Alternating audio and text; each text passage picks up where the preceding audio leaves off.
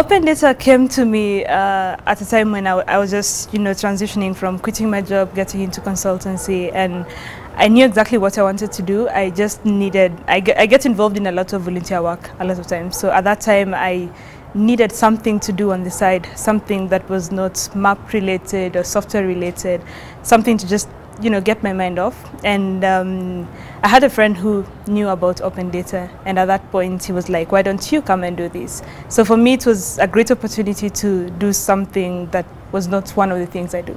You know, a lot of times you have to juggle through developing the application, you know, coming up with test data, dummy data, which which is most of the time data that you have to delete from your database after you're done, which wastes a lot of time. So um, having open data, I knew there was this data that I don't have to delete. If I wanted to make a medical application, for example, I have medical information. I test the application with real data. So that was very interesting. And um, of course, the fact that I didn't have to go through very many processes. Um, having been in the field for some time, I know how when someone has, for example, counties data, when, when the counties were out and people had counties data, some people were actually selling it. You know, if I, if I needed it, I had to pay someone to give it to me.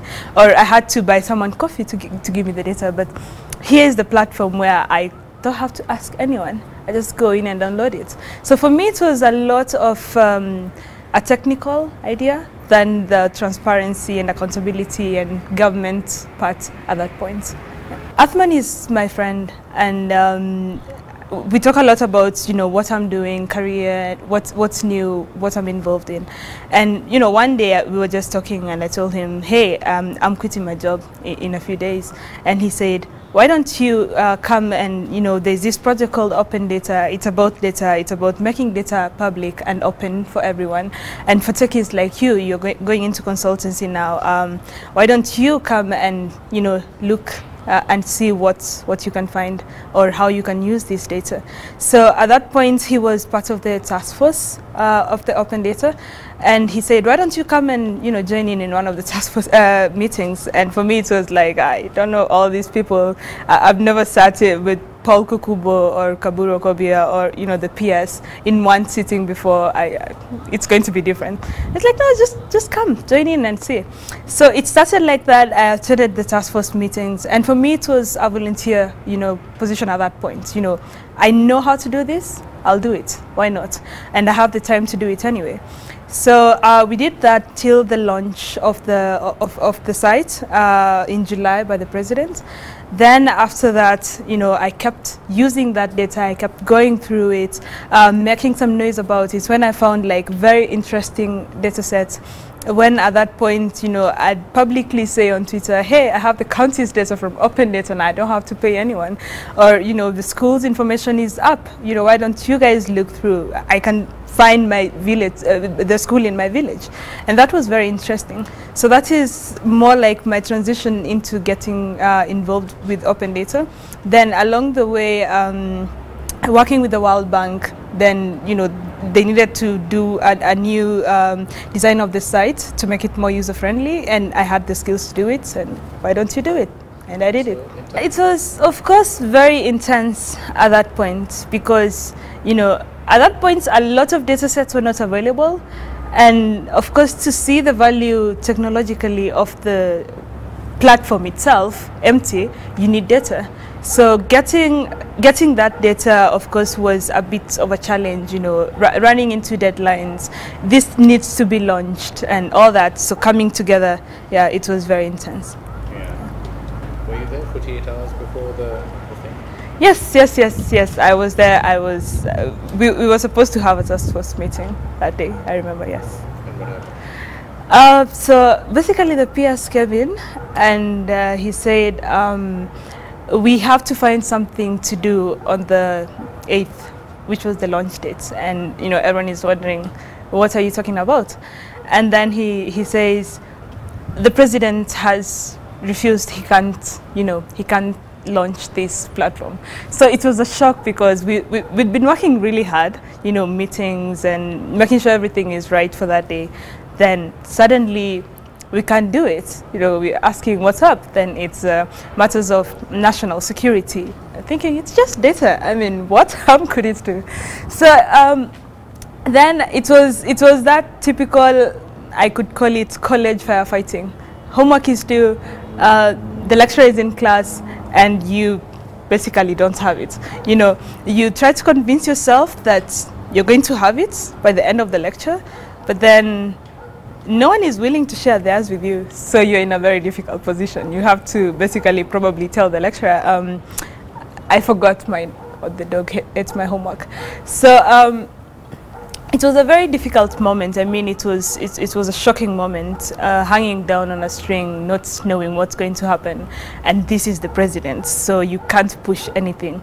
So at that point, it was it, it was a lot of you know praying, finger crossing, and all that. But thank God for 48 hours later, everything you know we were launching open data. We were not entertaining people just at the KICC walking into KICC, seeing all these people set up uh, on the tables, for me it's about technology and seeing all these people who'd come to celebrate the technology, um, apart from, you know, this being a government initiative.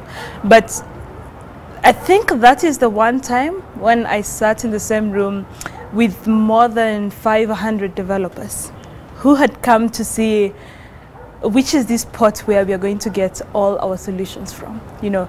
So it was it was a very very amazing time and of course it was the first time i sat in the same room with the president and very high delegates and it, it, it was very intense and very good. And at the end of the day looking at, at the whole team the task force that made the whole you know day and portal possible it was it was a very encouraging moment. Open data has changed a lot of things. Um, five months ago, probably after after school, I was very much into doing my masters, you know, doing my PhD, probably becoming a professor. But then you get into the field and you're thinking, well, I think I'm doing well enough right now. You know, why go back to school to be harassed by exams and to do your masters? Why do that? In technology, well, it's about what you know than what you have and who you know. But right now, having interacted with open data, gone through all the data sets and understood the deeper meaning of them, I want to go back to school, one, to do my master's in data science and um, or data analysis and statistics because I have seen the beauty of data just through open data, having the chance to interact with over 300 data sets, different data sets, that has, has changed my life. And uh, well, right now I have a stable job uh, managing the open data uh, portal and initiative at the ICT board. So of course, both academically and professionally, open data has, has made my life different in a few months. There's a lot of lessons when it comes to one, you know, convincing people to give you data.